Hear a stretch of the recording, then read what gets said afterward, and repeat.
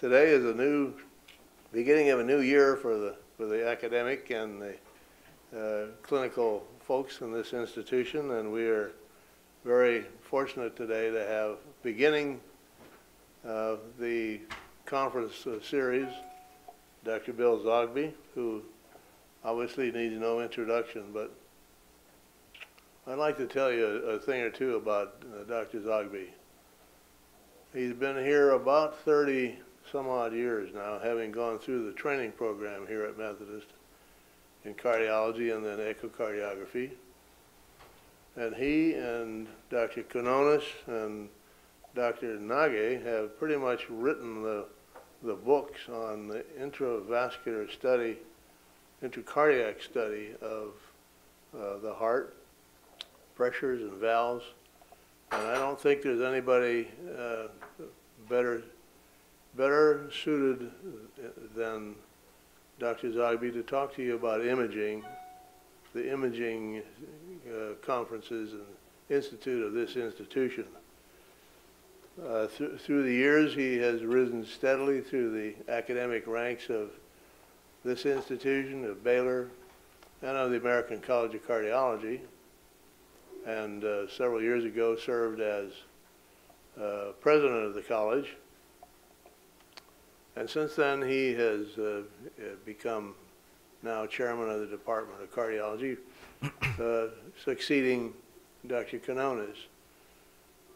He's also chair of the World Health Organization uh, uh, conference on uh, cardiovascular medicine, and uh, he's going to he's going to uh, talk this morning about the imaging uh, future. I don't think anybody can better talk to us about it than him. He is serves he has he serves as the Elkins Family Distinguished Chair in, in Cardiac Health in the Department of Cardiology. Uh, he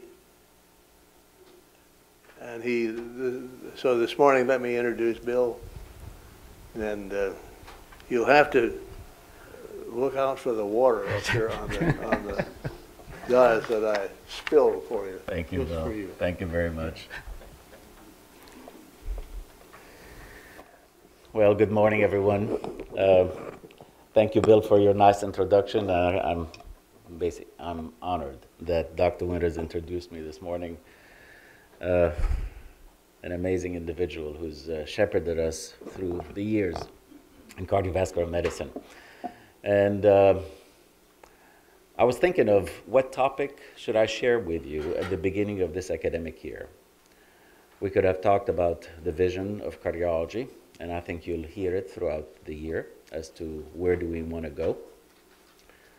Uh, but it is almost the anniversary of a decade that we've put together this Cardiovascular Imaging Institute. And imaging touches each one of you involved in healthcare, but particularly in cardiovascular medicine.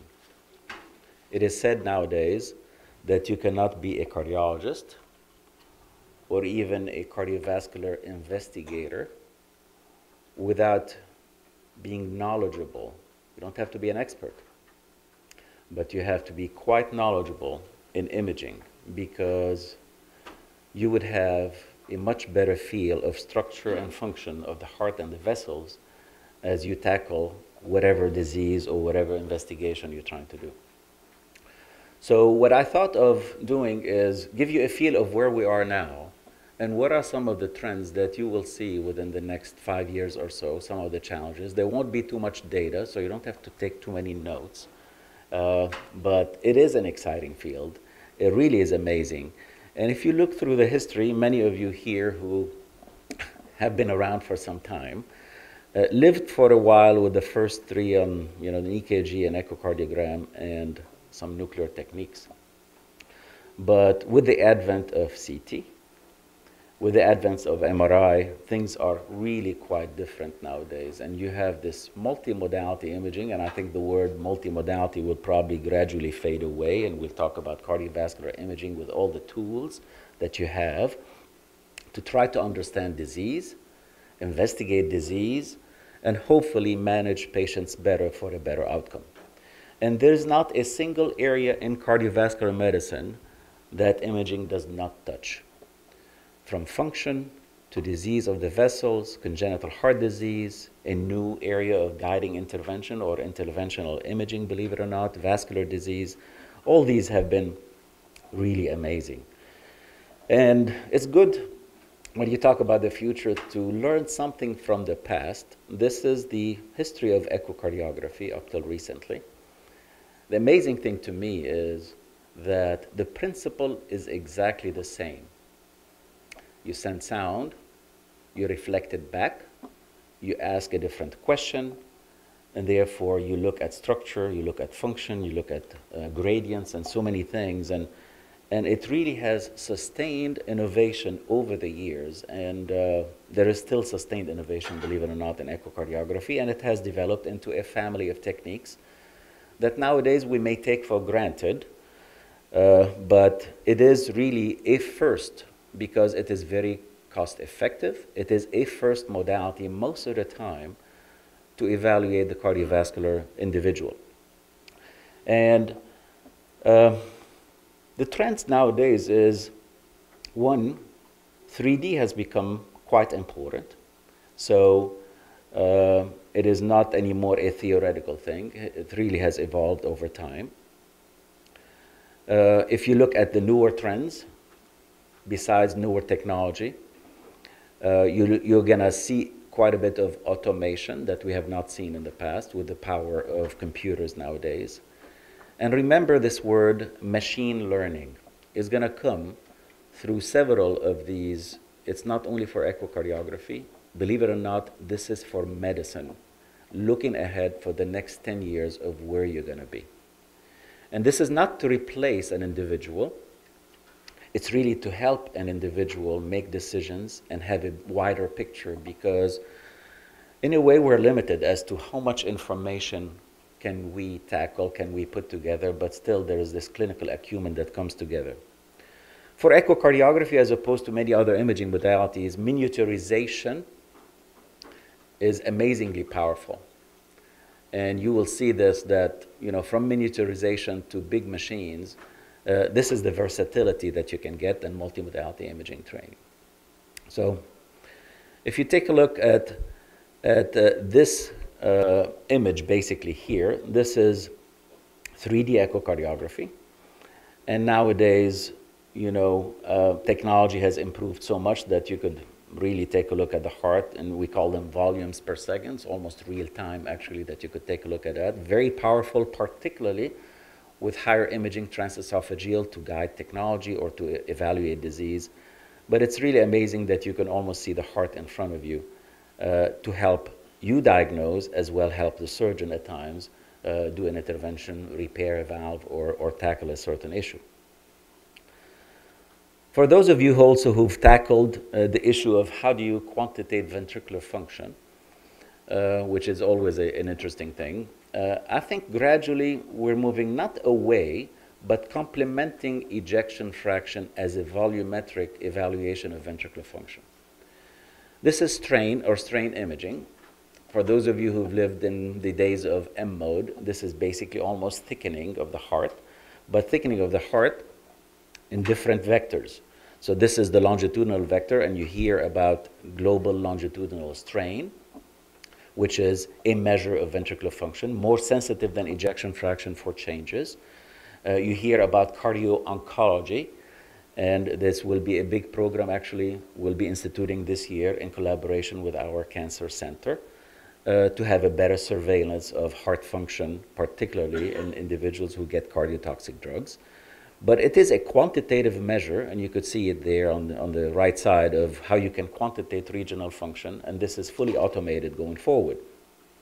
You could take it to even a different level, not only quantitate strain and thickening, if you will, deformation of the heart, but you could look on the right side at what's called torsion. Now, it's still trying to find its place as to what we can understand about torsion in health and disease, but as you know that the heart doesn't just thicken, but at the same time, while it's thickening, there is a torsion motion, there is a twist motion of the heart. uh, that may be exaggerated in certain situation, and certainly in ventricular depression, it will, uh, will be much more altered. Diastolic dysfunction will alter it. Uh, has not yet found a niche for clinical application, but I think it's still very important. This is the first slide i will share with you about what is the area for the future. The area for the future of development is how do you, how do you put to, together complex data? And indeed, beyond, behind, behind all these imaging modalities that you see, there is tremendous complexity. There's so much data, digital data, that is available. And how do you, can you put it together besides us with our pair of eyes trying to interpret either an echocardiogram or an MRI or a CT scan? And there are various ways to do that. You could see them here on the slide. Clinical, biochemical genomics, you know about networks and various areas in genomics, but also there are some feature recognition, data mining, machine learning, where actually you train a certain machine of how to interpret and, and, and come up with either a quantitative measure, how do you track the endocardium, uh, all these automated areas that, that you could do that. And uh, there are a lot of investigations. So it's not only, it's not only uh, the, the realm of um, industry that is developing that. There are a lot of individuals who are spending a lot of time on machine learning going forward. This is from Mount Sinai. Um, Dr. Sengupta has been pioneering this along with Jagat Narula. And uh, this is uh, machine learning of how do you track an echocardiogram. It's not only for the ventricle, it's also for the atrium. And uh, not only that, actually what, what you're going to look at possibly is not only volumes, but also all the diastolic parameters that we usually use. E, E prime, velocity, strain, and so many other things. So conceivably, from an echocardiogram that you obtain, you could send it through a machine that has learned some of these patterns and come up with an interpretation for you, not to replace you, but to guide you along. And we know that there's a lot of variability among individuals in interpretation, so hopefully that will conceivably increase accuracy, decrease variability, and hopefully come up with, with better overall interpretation. Uh, CT scans have uh, have been able to segment the heart much better than echocardiography, but you see the same trend almost anywhere. This is from Roberto Lang's work, and he's been pioneering this as to uh, you can identify, automate cardiac chambers. This is a recent publication uh, just this year uh, from cognitive learning, looking at cardiac imaging for differentiating constrictive pericarditis from restrictive cardiomyopathy, looking at various parameters, and they are you know, the diastolic bounce, the filling parameters, and so many other things that you can put together. And you have to remind yourself as an echocardiographer what to look for. Conceivably, machine learning can help you put things together and alert you to a certain situation. And believe it or not, the validation looked very promising, very, very promising going forward. Now, we use imaging to help, obviously, the clinician trying to identify, you know, uh, pathologic conditions or early detection, but this is in the realm of heart failure. Just looking at an image can give you an, uh, quite an idea as to what the underlying etiology is, from a hypertrophic cardiomyopathy to a dilated one, to most likely an infiltrative disease in the left lower there, and somebody with a lot of regional abnormalities that you, suspect, uh, most likely an ischemic etiology, or it could be myocarditis, but most of the time uh, this is what it is. So you help the individual as to which direction is the workup going and how do you treat an individual. And this is part and parcel of what we do in clinical medicine, and that won't change. Another thing that won't change is our power to uh, investigate diastolic dysfunction that is becoming more and more ubiquitous as the aging population and comorbidities occur. Uh, a lot of individuals with normal quote unquote heart function, but they come in with heart failure, they have a lot of diastolic dysfunction. And uh, this is pioneering work from our colleague, Dr. Nagueh, director of the Echo Uh, 20 years ago, Dr. Nagueh. Uh, 20 years ago, actually, this is, you know, this is in the guideline that he wrote himself also, but certainly used throughout the world as to how do you evaluate diastolic function uh, with echocardiography. Where I see the future going is that beyond this, in a way, simplistic way of looking at diastole, looking at what, what happens at the annular level of the mitral valve, is that you know, this is a global index as opposed to a regional index. And can we go from global, from regional to global? And I think this is what you're going to see down the line, hopefully, with improvement in vector imaging, spectral imaging, that uh, this concept of relaxation of the heart uh, not only be applied at the annular level, but also throughout the myocardium. CMR has been uh, amazing, I think, over the past few years. I think uh, when we brought Dr.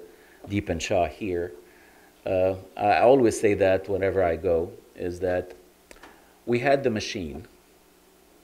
We had what we needed from a technology point of view. Yet our utilization of MRI, I can tell you these are real numbers, was about 22 studies per year. And it's not because of a turf between radiology and cardiology. It's just we did not get what you needed from the information that you sent a patient for. The images were not optimized. You could not answer the question. And you bring somebody, and this, is, this would apply to any area of cardiology or even medicine, you bring somebody with expertise and interest to try to develop it further. This program has grown to about 3,000 plus studies per year. Not because of overutilization, all of them are really appropriate, is just trying to understand better the disease, image it better, interact with the clinician. And I think we are the envy of, of uh, you know, many programs in the country where, you know, competing with the highest programs here, uh, you know, at Duke and, and Northwestern as to what you could, you know, produce with MRI. And MRI is is amazingly powerful because uh, although it has been said, well, it is a one-stop shop, it is pretty close to a one-stop shop without the coronaries, unless you're looking at the origin of the coronaries, but it is really amazing. And for us, uh, in this institution, I know Dr. Mahmarian, late Dr. Verani, myself, and many others have looked at myocardial viability. It is probably the most powerful the most powerful uh, technology to look at myocardial viability because it's really the only methodology that can look at scar, image scar, quantify it, as opposed to infer it. Now, at times you need something about the characteristic, the tissue characteristic of the myocardium, but we know that at least if you can image uh, the area of scar, uh, replacement scar, uh, it, it has an incredible, powerful prognostic as well as therapeutic implication. And this is from Dr. White, who visited us a few years ago uh, in Canada, looking at fusing the images of the heart, of myocardium, so you could see the scar down in the lower images, uh, superimposed on MRI, which is really beautiful. One area that has been a challenge for us cardiologists is if you don't have replacement scar in a certain area of the myocardium, can you really figure out extracellular space, how much collagen there is, because many of the diastolic dysfunction entities have more interstitial fibrosis. They're stiff for whatever reason. Examples are hypertensive heart disease, aortic stenosis, many other things, the disease of the elderly. And uh, there is a new technology at the bottom there, which is interstitial via extracellular volume fraction, or ECV. And uh, it is a methodology that has been now advocated, I would say, close to the past five years or so, gaining more and more traction, and really giving us, for the first time, an evaluation of what's really going out on the extracellular space, particularly if it is diffuse. So we're not talking about replacement fibrosis, which is on the top. We're looking at what happens to the extracellular volume or extracellular space and what happens with disease, and that's been validated very nicely also and it has clinical implications. And Dr. Shah uh, and his colleagues have, uh, have really uh, published quite a few uh, papers regarding prognostic information, whether this extracellular volume increases and the implications of that. For ischemic heart disease, this is bread and butter. and I'm not putting you know MRI here, Dr. Shah, so it's, it's no offense for that. But this is the for this institution and most of the institutions in the country. Stress testing is still number one for detection of coronary disease because, as you know, if you image only at rest, you may not understand that very well. Why? Because there are great adaptive mechanisms to the myocardium. So therefore, you can use an electrocardiogram, uh, much less used, but rediscovered gradually because of insurance companies forcing this on us. Uh, you could use a stress ECG most likely in few situations where you have a man as opposed to a woman because there are much more false positives in women. And uh, with a perfectly normal electrocardiogram, even your sensitivity may not be as good. But I think this is a situation where you could. But imaging modality, stress echo, nuclear. But we still have issues. I think we use them all the time. It's good to keep few things in mind for some of the remaining issues. Bundle branch block is an issue uh, for both technologies. Women, maybe breast attenuation, but with gating nowadays is less of an issue. Inferior wall, believe it or not, is an issue for most modalities for different reasons. Left ventricular hypertrophy is an issue. If you have severe ischemia, I know Dr. Mahmarian would not, uh, uh, would not uh, necessarily bow down and, and say that there is an issue, but at times there is because uh, th- at times there is a, this fixed defect issue three vessel disease. There is still an entity of balanced perfusion. So if you have somebody with left main disease, you may want to do a functional test as opposed to a perfusion test. And uh, last but not least, hypertensive response. Anything that tells you about wall motion and, and global function can really give you some false positives or give you a flat. So we still have some issues, and this is where nowadays with CT angiography you could refine this. Interestingly enough, obviously, CT has progressed so much nowadays, and we'll talk about it later, that radiation has been significantly reduced, and we've been fortunate to be able to have such a scanner. And in addition, contrast has been, the amount of contrast has been reduced so much so that, and that could be a shocker for you, in England, in the United Kingdom, the last month, the NICE guidelines, NICE for the national, NICE guidelines came up with as almost a first line investigation for individual with chest pain would be CT angiography. Controversial, obviously will send ripples and a lot of, but just to tell you where things have evolved over time, over the past 10, 15 years, is that with that much less reduction in radiation, much less contrast, that there are situations where conceivably you could go for CT angiography as your first one. Now, remember also that coronary disease is a progressive thing, and, uh, and the functional tests, most of them, be it wall motion or functional, will only detect uh, things way down, where you're in the 60% or above range. We always talk about 50% stenosis, but to tell you the truth, most of the time you're going to detect them somewhere closer to the 70% range if there are no collaterals and other things. So if you're really serious about uh, prevention of disease and early, very early detection of disease, you have to look at you know, the left side of this graph, uh, where you're seeing the earliest deposition of, of cholesterol, plaque, and its reaction, which is calcific depo- deposits at this stage of the game. And, and this is where calcium scoring, and this institution with Dr. Mahmarian, Sumin Chang, and Faisal Nabi have really been the pioneers uh, to go forward. And this is from their publication. And at times you say, hmm, an individual came in, had a normal stress test, normal stress nuclear, and uh, within three days, four days, whatever it is, had an acute myocardial infarction. How could that be? That's the first question from a patient point of view. And, uh, but we know that if you have burden of disease that is non-stenotic, any fissure, any alteration in, in uh, structure that could trigger a thrombotic phenomenon could cause an acute myocardial infarction.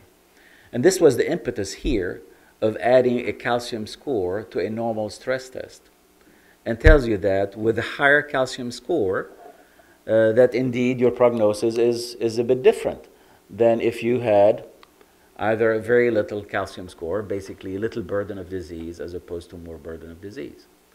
So comes something that, besides being a silo of investigation, meaning, oh, my perfusion test is, is uh, uh, normal. Therefore, my prognosis is just wonderful. What I'm going to push you, and you will see some of the data, is go beyond a single test result to assess prognosis.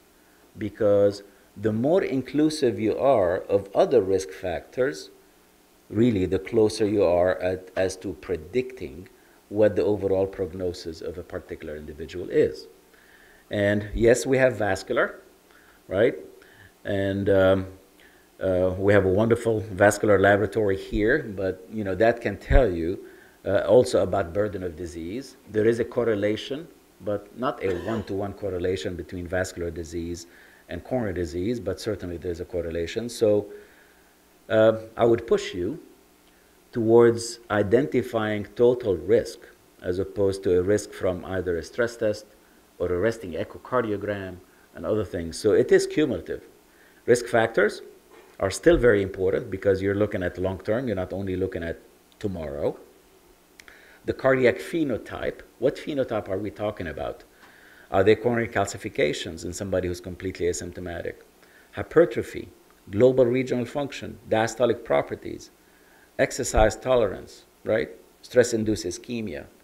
So the closer you are to assessing total risk, the better feel you have of a particular patient. Because particular patient, if if uh, if they're not doing well, they really don't care why they're not doing well from which vascular bed or otherwise. The prognosis is very important. And along these lines comes this publication just a month or two ago. Again, this is machine learning. Okay? Machine learning. Uh, amazing, actually, using two things CT angiography as well as clinical data. Okay?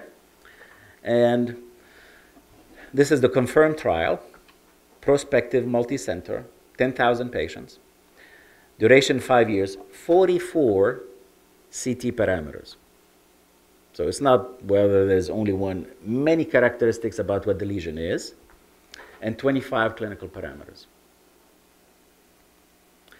And, you know, this is an example there. But the most important thing is the graph on the right. Is from prediction of the model. So this is machine, uh, this, you get as much information about the patient from one anatomic to some clinical characteristics, put them together, okay? And this ROC curve in red is machine learning, an AUC of 0.8. Below it is, you know what this one is, right? Is the Framingham Risk Score Index. And see, see where the blue is compared to the red. And the other ones are basically parameters from the CT angio alone. Okay? To tell you that the more inclusive you are of other parameters, obviously it can get complicated for the particular individual to kind of put one plus one together. But this is machine learning. And it enticed so much Dr. Jim Min uh, to actually dedicate only 20% of his time nowadays, and this is recent at uh, Cornell, to do the regular stuff, and 80% will be involved in startup companies to look at machine learning and how can they improve our overall prognostic implications, etc. And actually, if you look at that model, the observed more, uh, MACE as well as the predicted MACE were almost right on. Very exciting. Very exciting. Valvular disease, you know, I, I, think you know where the implications of valvular heart disease and imaging. Echocardiography, since its start from the early, early days in the 60s, believe it or not, and 70s.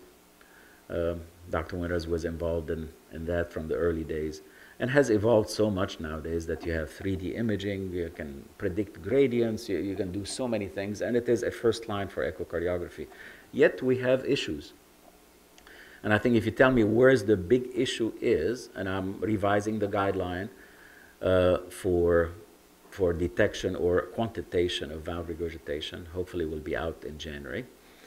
Uh, we can have a grand rounds on that. Uh, where are the issues? The issues are in valve regurgitation, much more than stenosis, and more mitral issue as opposed to aortic regurgitation. And uh, particularly now with the entity of ischemic mitral regurgitation and so many other things that we don't have answers. I really think we need to do more research, and I think we are planning actually a big database here with Dr. Shah, Dr. Nagueh, Dr. Little, and so many others to try to, you know, have a go at it, something strong that we could develop going forward to try to improve that and decrease variability. One thing, though, that we can do nowadays is, you know, quantitate many things about the mitral valve, other valves, but mitral valve is, is quite interesting because of its pathology, as well as its prognostic information of acute rupture, prolapse, etc., cetera, et cetera. And we're going from just pure description of what the size of the valve is to look at its function. And this is work now has been, I would say, uh, in the making for about seven, eight years in collaboration with University of Houston, Dr. Azencott. Uh, we'll give a research seminar on that next week. And uh, it is quite revealing because for this is for the first time uh, in man, in a handful of patients and normal individuals, quantitating strain on the mitral valve itself and hopefully trying to figure out whether this is, is, is prognostically important. Uh, what does surgery mitral valve repair do for the mitral valve regarding strain? This is a patient with uh, mitral valve prolapse, as you could see it nicely prolapsing there, and then you could track it during the cardiac cycle, so you look at strain and stress of the mitral valve itself. You could map it and this is from a normal valve on the left, and you could see much higher strain. Usually strain is higher in the posterior leaflet compared to the anterior leaflet, and we've compared them in normals versus organic mitral valve, and certainly they're quite different. Uh, it's interesting that strain localizes at the commissures and the annulus that you could see there and at the point of coaptation as opposed to the body of the mitral valve itself. And you could see those highlighted in black. And we've also, there is a publication in review now in Circ Imaging looking at pre and post repair. The reduction in strain is quite significant. So this is with Dr. Lawrie's technique of mitral valve preservation. So the mitral valve is really not cut. You have annular reduction and artificial chordae that are placed. And with that, just decreasing the size of the mitral valve and increasing coaptation at the tip of the leaflet strain is reduced significantly. And whether that is a major advantage in the long-term prognosis, I think, still to be determined. But I think this is this, this is very novel. Actually, we have collaborations coming up with industry to try to see how can we, you know, push this and investigate it in so many other areas. Uh, interventional imaging over the past 10 years really has come here. I mean, it was not there, and this is because of the collaboration and the need for collaboration at a heart team in the catheterization laboratory with all the newer structural heart disease interventions. Started with TAVR, and nowadays TAVR probably needs much less transesophageal imaging as opposed to transthoracic. However, there are many others that still need transesophageal. This is mitral valve clip, and I think it's crucial no matter what.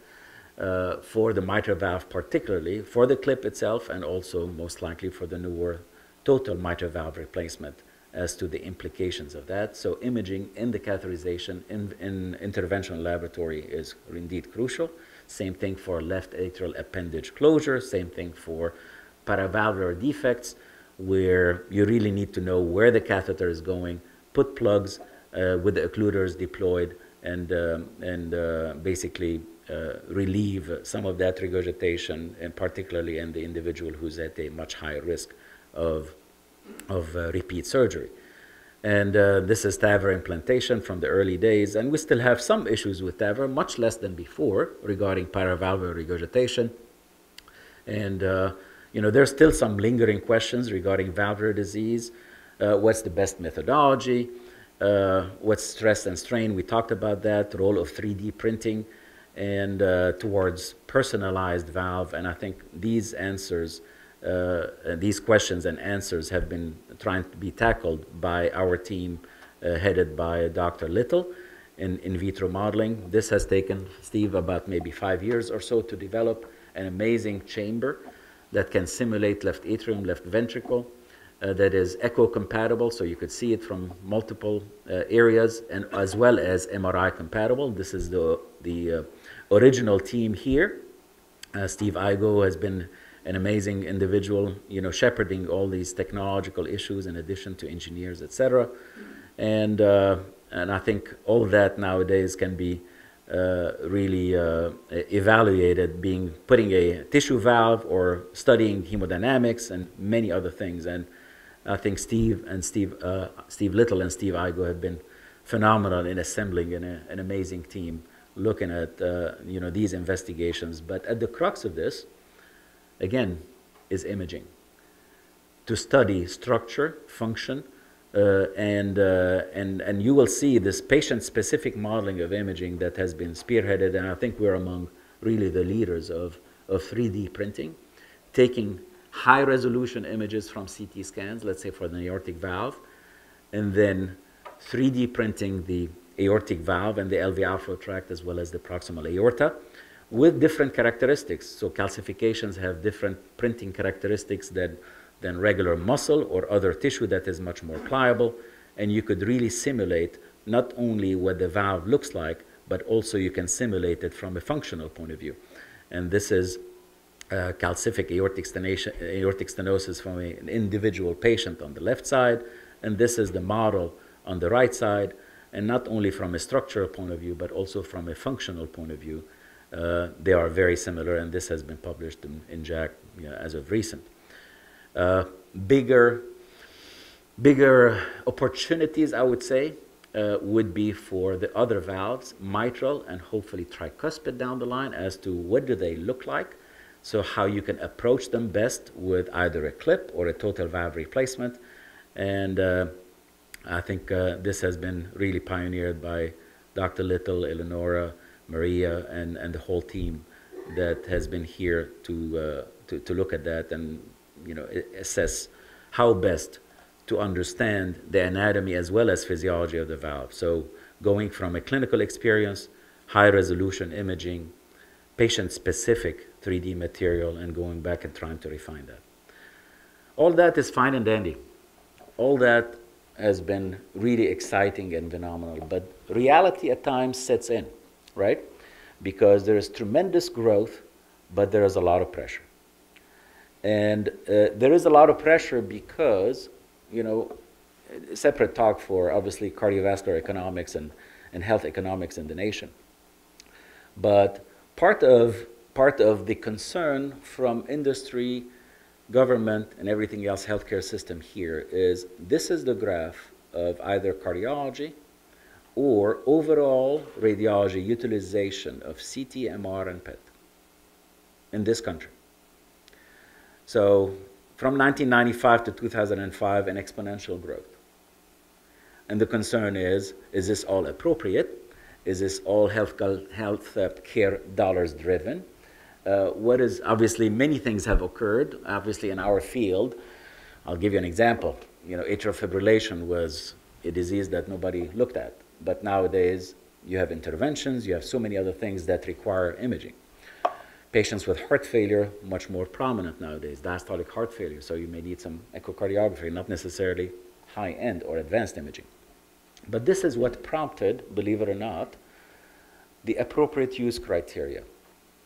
This conversation prompted the appropriate use criteria because there was seemingly overutilization of imaging. And, you know, the uh, ACC, uh, was you know quite uh, present with that, uh, as well as American College of Radiology took that on for imaging purposes to try to at least translate guidelines into something that would be appropriate, conceivably, or you know maybe appropriate or rarely appropriate situations. Now, do people read every little portion of it? Most likely not. But what you will see and gradually see is that part of MACRA, and that's a different, you, you need to know that acronym, And I think we're going to have some symposia about it because this is value, quality injected into your practice. Part of that, part of taking away this SGR was an agreement that you would use appropriate use criteria to order a test. So at the point of order, you just not say, I want an echocardiogram and I want a CT scan. You need to justify why. For all reasons, for all good, appropriate reasons, but you will see some of this being incorporated into your ordering system. Not to make it, you know, onerous, but I think in a way appropriate, and hopefully you will find the language for that to be, to be so. Based on many things, including, uh, including one appropriate use criteria, in addition to decrease in reimbursement, and that's what caused the shift of physicians, you know, to being employed, believe it or not, particularly for cardiology. You see a gradual reduction and leveling off of utilization of echocardiography, MRI, CT, et cetera, et cetera. And obviously it has a natural growth because the population is growing, so you'll see a reaction first and a gradual, hopefully some flattening of the curve, more appropriateness of the curve. So what are, what are the trends well, imaging, there's no question, I think everybody acknowledges, is crucial for healthcare delivery. And cost effectiveness and value are becoming part of our language. And believe it or not, they will need to be part of your language. If you don't think about it, just wake up. You need to wake up because uh, it is not just an onerous look at what you do. Everybody is looking at what you do. You could be in, completely in private practice, you could be in an integrated group, you could be wherever you are. Your utilization patterns are transparent, and you just need to do what's appropriate. That's all. You don't have to be defensive medicine, you just do what is appropriate, what is clinically appropriate. There's more emphasis on quality, there are umpteen quality measures. Multimodality imaging is great in a way, but is adding complexity. I'm pretty sure that we'll have quite a bit of heterogeneity of how you approach a particular patient with what kind of test among this group here. So just imagine if you take this and put it in the context of health care for primary care doctors and other doctors of what to order. And I do hope, and I would encourage people to say, well, if I don't know what test to order, just give us a call. Give the lab a call. At times, I call a radiologist just to see, well, I have this issue. What is the best test for this individual? And I think this is important, almost like a consultative way of looking at it. And healthcare models and, and payments are changing. They're already changing. This is no longer theoretical, right? Uh, you know that for cardi- started with orthopedics, but for cardiology, there are you know two areas that will be targeted for bundled payment beyond the hospital stay, right? Coronary artery bypass surgery is one, and PCI procedures for acute myocardial infarction. So you have to think beyond the episode of care that has you know, admitted this, in, this individual to the hospital. Uh, so if you have your lens going into the future, what will be? I uh, just want to tell you how fast things are. 15 years ago, the genome was not cloned, right? So used to be early on about almost a million dollar to clone a genome. Nowadays, it's about between a thousand and two thousand dollars. Things have changed. Uh, there were no, I mean, CT scan was in its infancy. There was no real-time 3D echo. Uh, had no social media. Believe it or not, nowadays you can't live without it, can you? um, you're at the iPhone 7 as of yesterday, and many of you did not like, you know, probably the jack not being there. If you don't know that, wake up today. You're going to use some wireless. But, uh, but believe it or not, I mean, this is now, if you take, if you take your, your phone away, you're lost, right? And this is 15 years. So it'll be hard to predict what the future is like, but I'll give you a glimpse. One is there is no question, there is an amazing digital revolution. You could, I mean, Eric Topol has made a, a new career in, in, looking at digital things, and, and, uh, but it's out there. There's no question about it. And it's touching our lives every day in so many ways, right? Epic is here, Epic and the outpatients here, wireless technology, you name it, social media. This is last month. Last month. There are, from virtual nurses to drug discovery, 90 plus artificial intelligence startup in healthcare. 90 plus. You know how much investment there is. And imaging is in it, as I told you. But it's, it's total healthcare. So you have to think about that. Another thing that you have to think about is what's going on at the patient level. Patients are smarter, they use smartphones, but they are smarter in many ways, and connectivity is gradually there. I mean, we, we get frustrated because you know they do so many things and you can't connect them, but connectivity is getting here. You may or may not know about this. you know about this X Prize, $10 billion for people who can come up with a handheld device that can give about 15 diagnoses with patients. 200 plus companies involved. The winner will be announced early next year. All right? So just keep that in mind. Yet, yet, our physicians, we as physicians, what do we do at the bedside? We use a famous stethoscope that is about you know 200 years old. Uh, the stethoscope has uh, nowadays for us aging and the aging group is uh, having amplifiers and uh, and other things. But let me tell you, it is diagnosis on the fly, right? And uh, no documentation. And uh, from that, you know, you could order whatever test. and I'm telling you that the art of this is is gone. Now, before the art was gone, uh, this is your diagnostic accuracy at the bedside. Internal medicine, family medicine, medical students below 30% usually. Mitral regurgitation, aortic stenosis, aortic insufficiency, whatever it is. I think it's still important, believe it or not. Uh, stethoscope, you may not think about it, but that's how I think about it. It's a 4D instrument that is not, does not need to be charged, okay? But it's a 4D instrument because sound is in 3D space. And uh, you have time with it. And believe it or not, even with echocardiography, you can miss a VSD, a VSD, if you don't have it in the right plane. And I know it happened twice in my career here where I had to ask the sonographer because either somebody is too sick or whatever it is to go back to the bedside and get other views and the ventricular septal defect is there.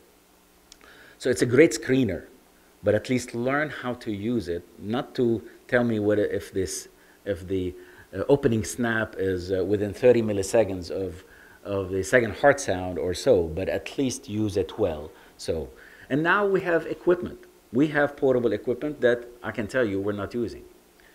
And in negotiations with administration, with, with Roberta Schwartz and others, uh, we will likely implement within the next year or so, and I know, I don't know if Angie is here, McDonald, our fierce leader uh, in the imaging laboratory, uh, is that we will equip some services with some of these portable ultrasound to help you navigate. You don't have to be an expert, but at least answer simple questions that you may not need to have a full echocardiogram. We have the technology available, and I think we have to use it appropriately. But individuals have to know what they're doing. Otherwise, you know, it will be a, a real mess. It will be overutilization of what really happens. So it, it will be worse than a stethoscope. Um, you know, a few years ago, I had uh, this idea about an omniscope where you can, you know, put things together electronically, etc. It's still under development, and um, you know, hopefully we'll see the, the light at some point in time. But this small miniaturization can help you really address the masses. And um, this was, believe it or not, from the American Society of Echocardiography going to India. And uh, winning a Guinness Book World Record of uh, evaluating more than a thousand patients after a quick stethoscope, you know, sending them to the appropriate little echocardiogram and being able to help more than a thousand patients you know within 48 hours believe it or not just imagine i mean the teams and these were interpreted globally there were volunteers throughout the world you know trying to interpret this and it was really amazing other things that are just amazingly exciting in imaging is if you take a look at, at this here uh, this is mri 4d flow uh, the images of flow are, are just amazing. This is in the 3D space. And this is from examples from Dr. Shah and uh, Huie Lin, our director of adult congenital heart disease. This is uh, pulmonic insufficiency, and you could see it on the right side how the flow is. Now we can learn quite a bit of that, of what it means going forward. Uh, PDA on the left side with an Eisenmenger, a secundum atrial septal defect on the right that uh, can tell us about flows. And I don't know where this will take us. It, will, it, may take us in so many different directions, but for the first time, you could really visualize where the actual flow red cells are going and tell you about maybe a remodeling of the heart, stress of the heart, uh, when to operate on an individual, particularly with adult congenital heart disease. I'm also proud to announce that, you know, within the past few days, there was a new grant approved, which is a collaboration between the University of Houston and us here under the leadership of Dr. Dipan Shah. Tell you the truth, I don't understand it very well. But all what I understand is amazing. This is futuristic therapeutic interventions where you could deploy few things, all right? and within the body activate it with MRI so that it can reconstitute as well as do a targeted intervention. Uh, was felt to be certainly worthwhile to give it almost a million dollar. And, uh, and this is a tremendous collaboration because taking technologies to a different forefront, I think it, it really is exciting in the realm of therapeutic intervention. I have not left our nuclear folks, you know, to dry. And uh, PET actually is, is really on the rise, particularly with some new pharma, pharma, uh, pharmaceutical that have an advantage over everything else we have nowadays. Not yet in the clinic, but certainly being tested in the clinic at this stage of the game. This is flurpiridaz, which is in the orange bar, is the only agent, is the only agent in nuclear cardiology that tracks flow one to one almost, meaning that I know what flow is in a certain particular bed one to one as opposed to have a threshold phenomenon just like you see with MIBI or thallium. So a tremendous advantage over the others if clinically approved. Images are really gorgeous. So you could, you could see the, the images very nicely, and this is from uh, Dr. Dan Berman, who provided this for us. Uh, the other thing is inflammation and atherosclerosis using PET. And we're actively looking of hiring somebody to complement our, uh, our cardiovascular imaging institute with such a, an interest and expertise. Uh, because in acute coronary syndromes and early atherosclerosis, it is accompanied by inflammation. And nowadays, you could target almost any step of the atherosclerotic process with particular agents. And we have to take advantage of a cyclotron that is available here with imaging technologies that are available close by for us to be able to do that. I talked to you about the CT, the dual source CT that we've acquired last year. And this has been a game changer. I can tell you, this has been a game changer.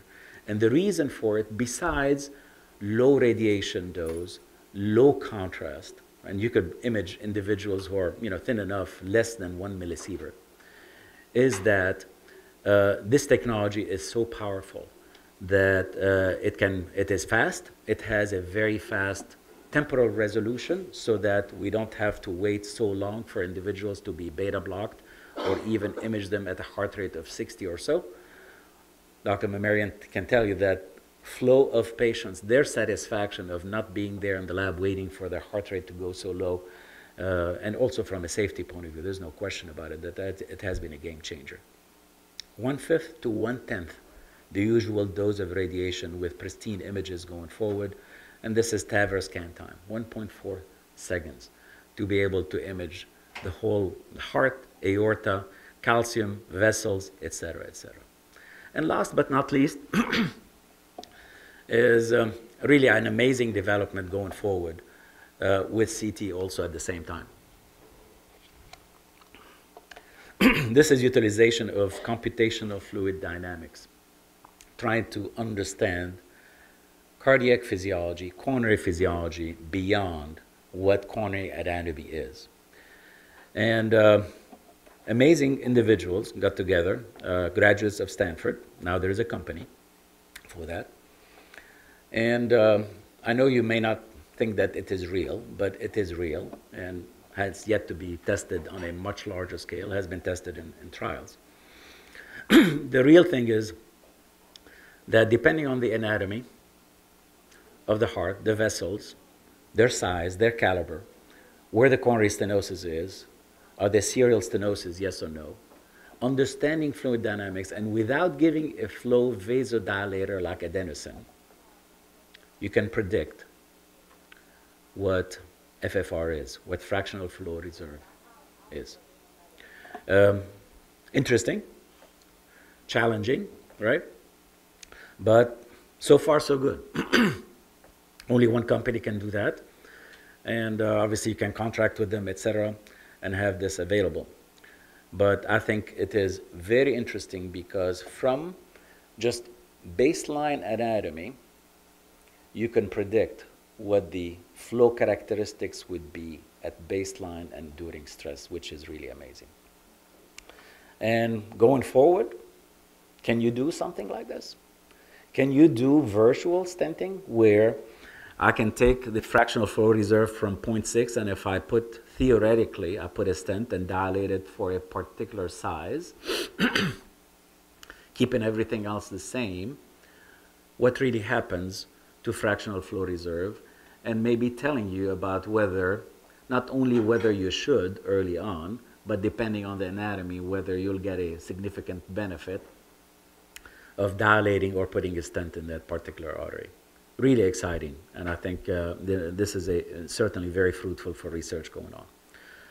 So, if I want to put things together, I think there are tremendous opportunities and still some challenges in the cardiovascular imaging arena. Uh, I think it has touched every area of cardiology and cardiovascular medicine. And from high end molecular imaging, big devices that can give us a lot of function as well as structure, to even miniaturized handheld devices that can be used in the field, whatever the field is, believe it or not, and in low cost situations. Uh, you only have to go to China and, uh, and India and find out what the, what, the, what the challenges are to delivering care in the most populous areas in the world. But you know, we're not immune to that. We still have our own challenges here. Detection of early disease, cardiovascular phenotype, this is really the way to go. And nowadays, with more and more safety issues that we've, uh, we've uh, conquered, I think it's becoming less of an issue. Possible use of imaging for novel drug development as well as surrogate for patient outcome. Uh, I think we have to go be realistic also that anytime you're going to adopt any new technology, uh, it has to show some, some effect.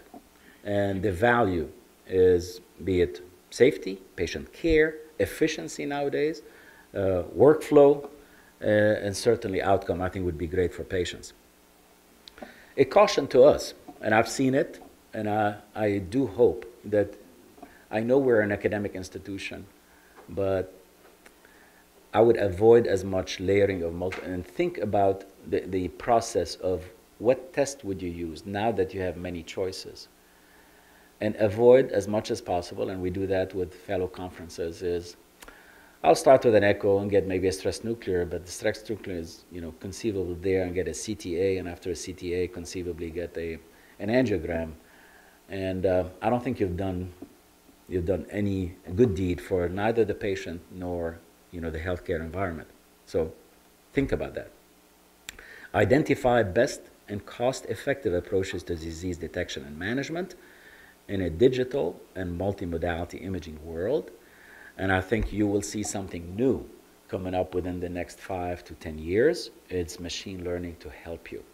And the machine learning is not only to interpret a certain test, imaging test, is to put it in the context of a particular patient, hopefully for better management, better prognostication, and better overall outcome using you know, our healthcare system. And at this time, it, it's nice to think back a little bit. This is about 10 years ago.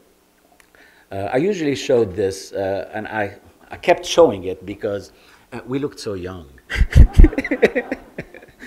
um, you know, the hair was darker, uh, the face was tight, and uh, but the, the but uh, but this was this was our team, you know, 10 plus years ago, and uh, this was a vision that uh, I'm I'm so happy that the uh, Houston Methodist administration and vision really gelled together to put this uh, to, to reality.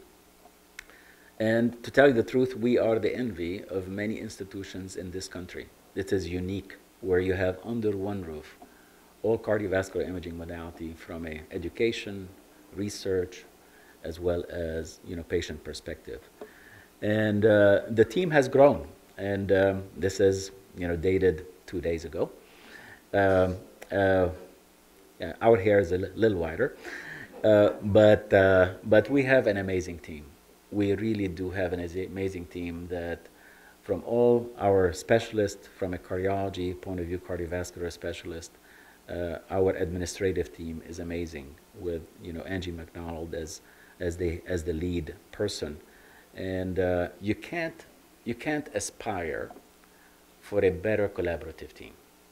I really tell you, and uh, we're not the only the envy of uh, many people in this part of the world and, many other parts of the world, but also we're so proud uh, to be able to put together such a team that can influence uh, the field uh, for betterment of understanding of cardiovascular disease, hopefully its prevention, but most importantly, taking better care of patients. Thank you very much for the opportunity to share that with you.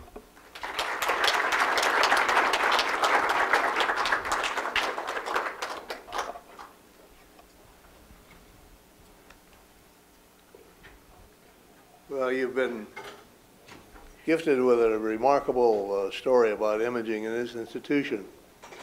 It may be a question or two, but I'd like to give you one teaspoonful of bit of history before, uh, before you ask questions. Uh, the ed education, the Imaging Institute as it is today didn't happen by accident. Uh, the first, the echocardiography laboratory in this hospital began in 1968 and was the first one in this part of the country. And shortly thereafter, within several years, nuclear uh, cardiology was instituted by one of my partners, uh, Dick Cashin. They tried to put it in our office, our private office. Uh, very quickly, we realized it was a bad mistake, and it was moved to the Methodist Hospital, where it was then developed by Dr. Reduto and, and Mario Verani through the years, and now John Mahmarian. The person who put it all together and kept it within the Department of Cardiology was Dr. Gotto.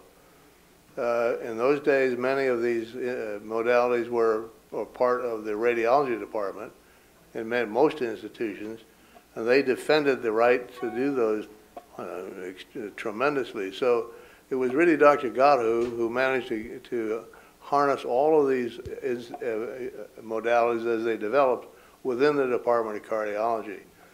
And then uh, uh, from that point on, Dr. Quinones and Dr. Zoghbi and others have carried it forward to where it is now.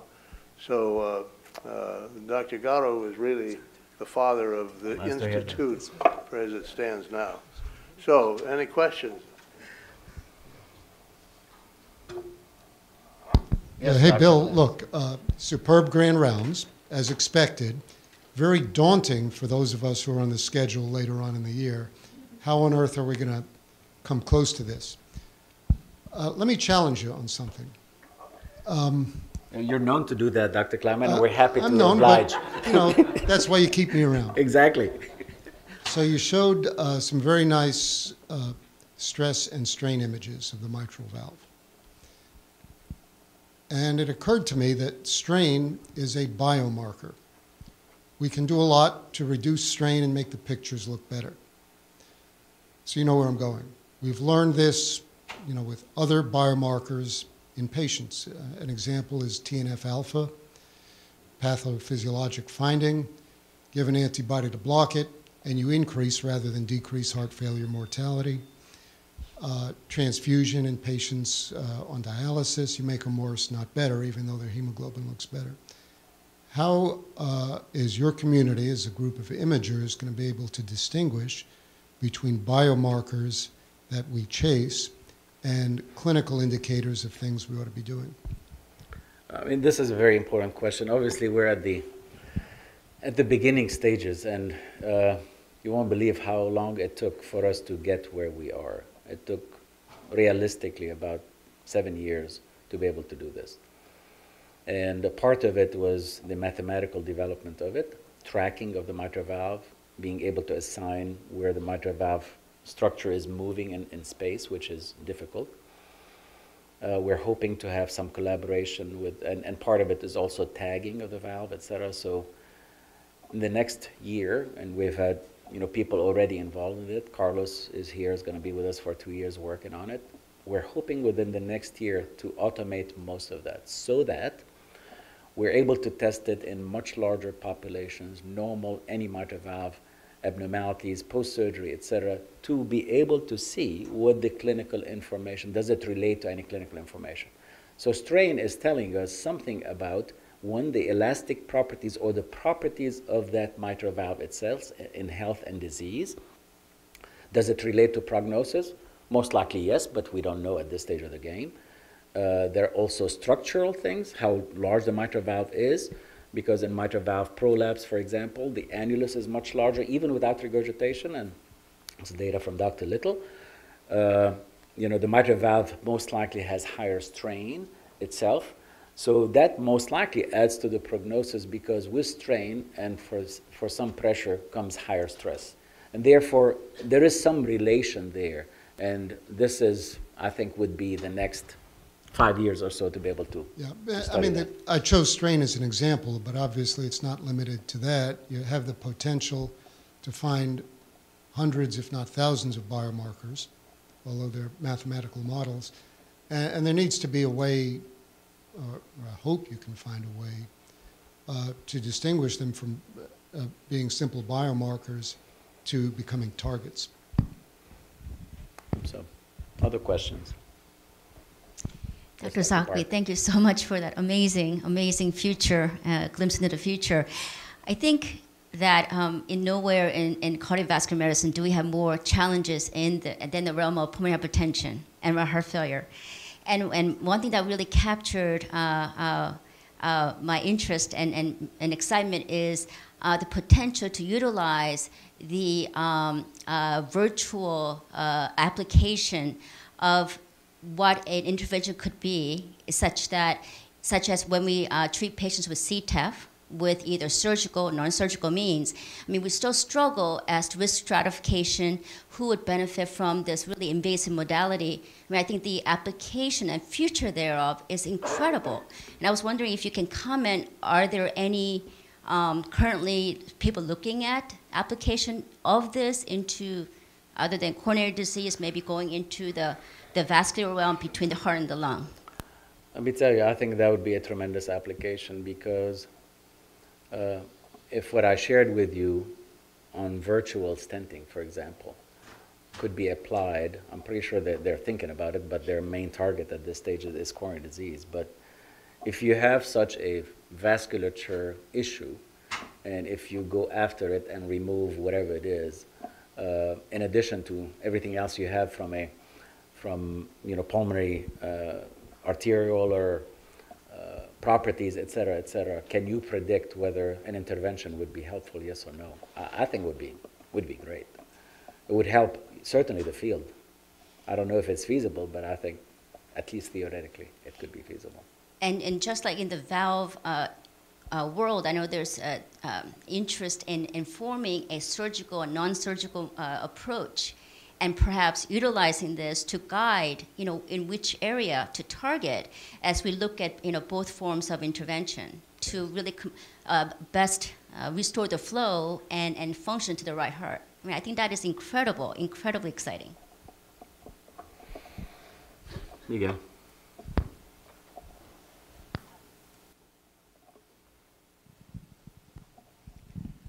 Bill, that, that was fabulous and clearly makes us all feel very proud. Um, two things. One was the um, what you showed about uh, machine learning.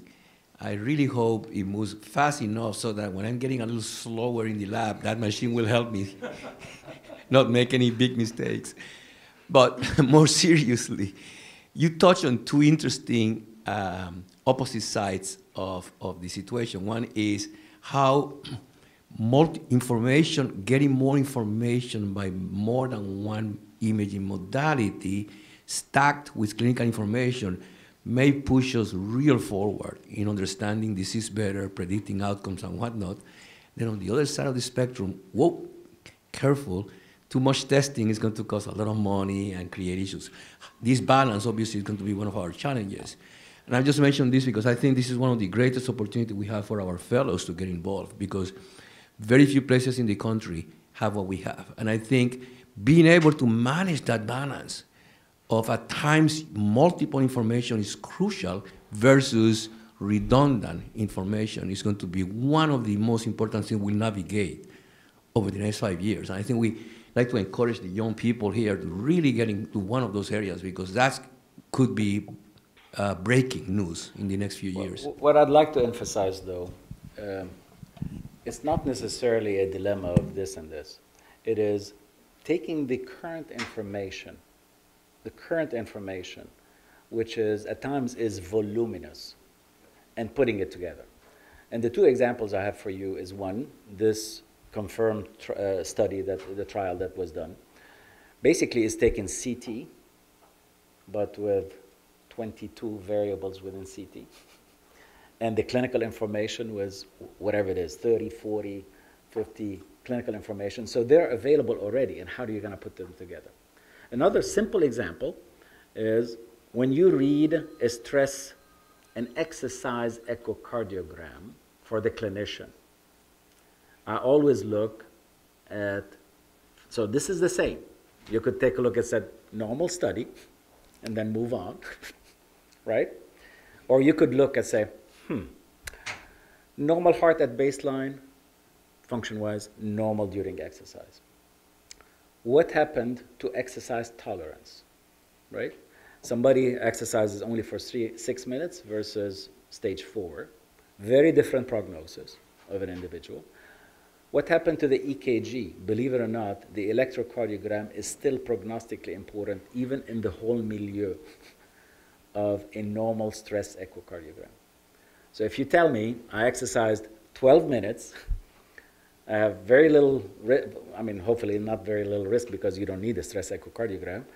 I had no hypertrophy, normal chamber size, normal stress, normal, normal everything.